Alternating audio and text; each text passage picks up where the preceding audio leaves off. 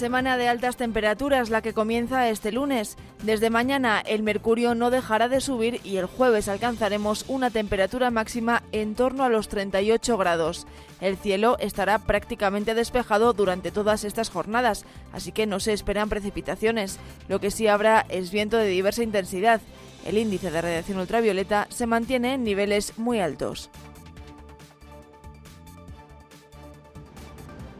En las próximas horas alcanzaremos los 36 grados. La temperatura se mantendrá por encima de los 30 hasta las 9 de la noche. Cielos despejados y viento más intenso conforme caiga la tarde.